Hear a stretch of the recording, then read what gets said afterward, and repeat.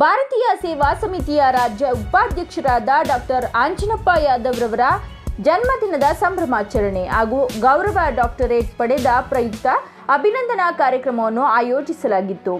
BSS ಸಂಸ್ಥಾಪಕರ ರಾಷ್ಟ್ರೀಯ ಅಧ್ಯಕ್ಷರಾದ H M Ramachandra ಉಡಿ ಚಿನ್ನೀರವರ ನೇತೃತ್ವದಲ್ಲಿ ಅದ್ದೂರಿಯಾಗಿ ಸಂಭ್ರಮಾಚರಣೆ ಜರುಗಿತು. ಸಂಘಟನೆಯ ಪದಾಧಿಕಾರಿಗಳು, ಮುಂಚೂಣಿ ಘಟಕದ ನಾಯಕರು, ಸ್ಥಳೀಯ ಮುಖಂಡರ ಸಮ್ಮುಖದಲ್ಲಿ ಬೃಹತ್ ಗಾತ್ರದ ಹಾರ ಹಾಕುವ ಮೂಲಕ ಪುಷ್ಪಗುಚ್ಛ ನೀಡಿ ಸನ್ಮಾನಿಸಲಾಯಿತು. ಈ ವೇಳೆ ಮಾತನಾಡಿದ ಉಡಿ ಚಿನ್ನೀರವರು ಸಂಘಟನೆಯ ಪದಾಧಿಕಾರಿಗಳು ನ್ಯಾಯಪರ, ಬಡವರ ಪರ ಘೋಷಿಸಿ ವರ್ಗಗಳ ಧ್ವನಿಯಾಗಿ ಕಾರ್ಯನಿರ್ವಹಿಸುತ್ತಿದ್ದು, ಎಲ್ಲರ ಪ್ರೀತಿ, ವಾತ್ಸಲ್ಯ ಸದಾ ನಮ್ಮ ಮೇಲೆ ಹೀಗೆ ಇರಲಿ ಎಂದರು.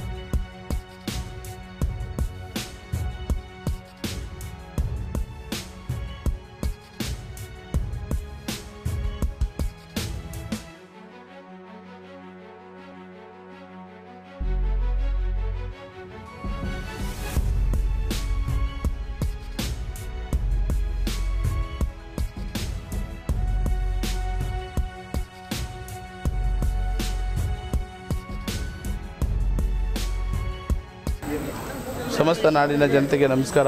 ನಾನು ನಿಮ್ಮ ಭಾರತೀಯರ ಸೇವಾ ಸಮಿತಿ ಸಂಸ್ಥಾಪಕ ರಾಷ್ಟ್ರೀಯ ಅಧ್ಯಕ್ಷರು ರಾಮಚಂದ್ರ ಚಿನ್ನಿ ಏನಿವತ್ತು ವಿಶೇಷ ಏನು ಅಂದರೆ ನಮಗೆ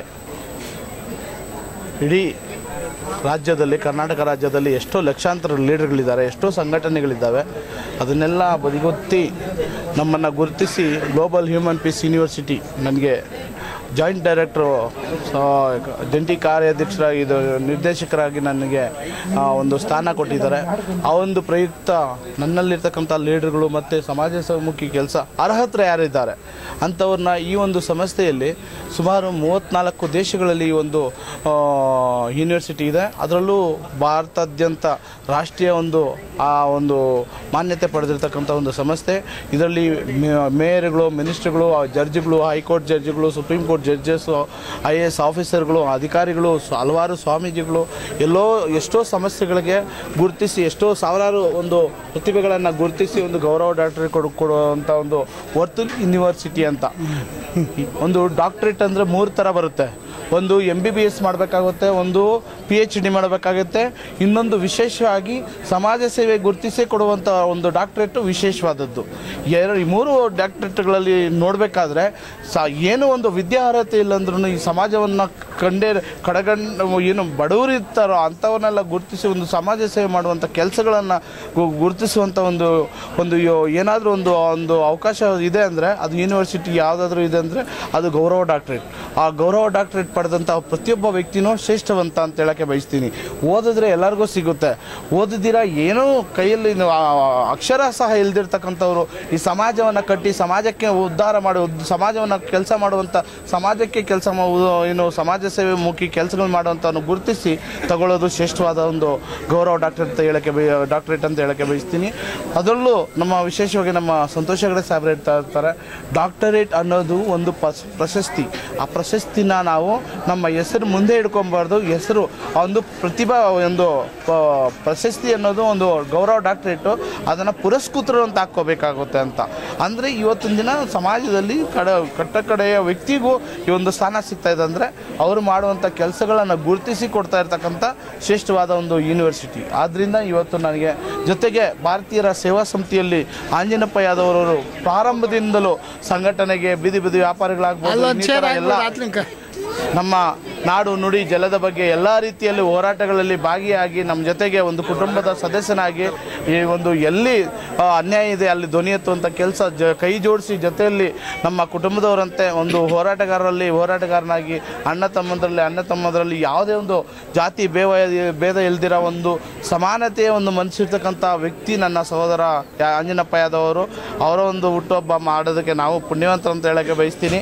ನಿಜವಾಗ್ಲೂ ನಾವು ಸದಾ ಇವ್ರ ಜೊತೆಗೆ ಇರ್ತೀವಿ, ಇವ್ರ ಕುಟುಂಬಕ್ಕೆ ನಾವು ಚಿರುಣಿಯಾಗಿರ್ತೀವಿ ಈ ಒಂದು ಸೇವೆ ಸದಾ ಇನ್ನೂ ಇವಾಗ ಕೇವಲ ಆಂಜನಪ್ಪ ಯಾದವ್ ಅಲ್ಲ, ಈಗ ಗೌರವ ಡಾಕ್ಟರೇಟ್ ಪಡೆದಂಥ ಡಾಕ್ಟರ್ ಆಂಜನಪ್ಪ ಅವರು ಇವರು.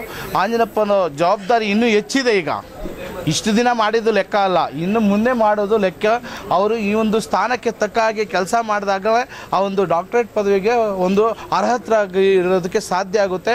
ಅವ್ರ ಜವಾಬ್ದಾರಿ ಇನ್ನೂ ಹೆಚ್ಚಿದೆ ಅಂತ ತಿಳ್ಕೊತೀನಿ. ಅವರ ಒಂದು ಒಂದು ಸೇವೆಗಳು ನಿರಂತರವಾಗಿ ಆಗಲಿ ಆ ದೇವರು, ಅಲ ಏನು ಚಾಮುಂಡೇಶ್ವರಿ ತಾಯಿ ಮಹಾಲಕ್ಷ್ಮಿ ಅವರ ಕುಟುಂಬದವರು ಶ್ರೀಕೃಷ್ಣ ಅವರಿಗೆ ಆಶೀರ್ವಾದ ಮಾಡಿ ಇನ್ನೂ ಉನ್ನತ ಸ್ಥಾನಕ್ಕೆ ಹೋಗಲಿ, ಇನ್ನೂ ಎತ್ತರಕ್ಕೆ ಬೆಳೀಲಿ.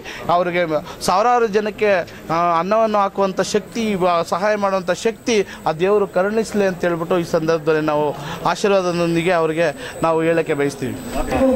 ಹಬ್ಬ ಅಂಗವಾಗಿ ಮತ್ತು ನಾನು ಈ ಭಾರತೀಯ ಸೇವಾ ಸಂಸ್ಥೆಯಲ್ಲಿ ಒಂದು ಸಮಾಜಮುಖಿ ಕೆಲಸಗಳನ್ನು ಮಾಡಿಕೊಂಡು ನಮ್ಮ ರಾಷ್ಟ್ರೀಯ ಅಧ್ಯಕ್ಷರಾದಂಥ ಉಡಿ ಚಿನ್ನೇನ ಅವ್ರ ಜೊತೆಯಲ್ಲಿ ಕೈ ಜೋಡಿಸಿ ಎಲ್ಲ ಸಮಾಜಮುಖಿ ಕೆಲಸಗಳಲ್ಲಿ ಅವರ ಜೊತೆಯಲ್ಲಿ ನಾವು ಭಾಗಿಯಾಗಿ ಸಮಾಜದಲ್ಲಿ ಏನು ಇಲ್ಲಿ ನಡೀತಾ ಇರೋದಂಥ ಅದನ್ನೆಲ್ಲ ಅರಿಕಟ್ಕೊಂಡು ಒಂದು ಹೋರಾಟಗಳಲ್ಲಾಗಲಿ, ಮತ್ತೊಂದು ಏನು ಈ ಬಡ ಕುಟುಂಬಗಳಲ್ಲಿ ಏನೋ ಕೈ ಕೈಲಾದ ನಮ್ಮ ಕೈಲಲ್ಲಿ ಆದಷ್ಟು ಏನೋ ನಮ್ಮ ಒಂದು ಚಿನ್ನ, ಚಿಕ್ಕ ಚಿಕ್ಕ ಒಂದು ಸಣ್ಣ ಸೇವೆಗಳನ್ನು ಮಾಡಿಕೊಂಡು ಇವತ್ತು ನಮ್ಮ ಭಾರತೀಯ ಸೇವಾ ಸಮಿತಿ ರಾಷ್ಟ್ರೀಯ ಅಧ್ಯಕ್ಷರಾದಂಥ ಮತ್ತು ನಮ್ಮ ರಾಜ್ಯ ಅಧ್ಯಕ್ಷರಾದಂಥ ಅಮರ್ ಸಾರು ಮತ್ತು ನಾಣಸಮ್ ಸಾರು ಮತ್ತು ಮುನ್ರಾಜಣ್ಣವರು ಎಲ್ಲರೂ ಸಾಗ ಸುಮಾರು ಜನ ಸೇರಿ ಇವತ್ತು ನನಗೆ ಈ ಗೌರವ ಸ್ವೀಕರಿಸಿ ಮತ್ತು ಈ ಅಭಿನಂದನೆ ಕಾರ್ಯಕ್ರಮವನ್ನು ಹಮ್ಮಿಕೊಂಡು ಇವತ್ತು ಇಷ್ಟೊಂದು ತುಂಬ ಅದ್ಭುತವಾಗಿ ಹೇಳಿದ್ದಾರೆ. ಹೇಳೋಕ್ಕೆ ಬಾಯಿನೇ ಬರ್ತಾ ಇಲ್ಲ. ಅಷ್ಟೊಂದು ಸಂತೋಷ ಆಗಿದೆ ನಮಗೆ.